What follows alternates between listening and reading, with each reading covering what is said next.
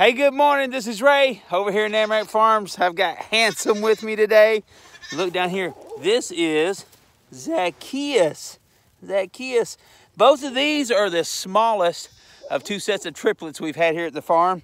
And uh, so we have to help them along with the milk that they get uh, because they are triplets.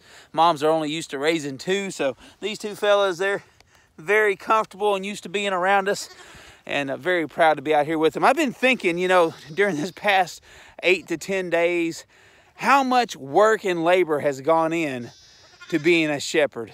And I haven't done it all. My wife, my children, everyone has pitched in. Everyone's working hard.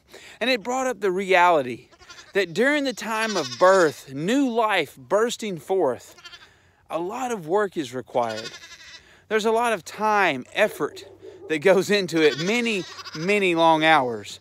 And you and I, as we follow the Good Shepherd and we're praying for others to burst forth into the new life of following Him, just like these little fellas are down here hanging out with me.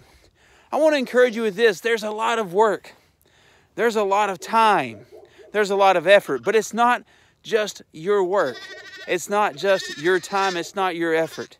Remember that you've been called to plant the seed our Heavenly Father is the one who, who sends the water and sends the growth.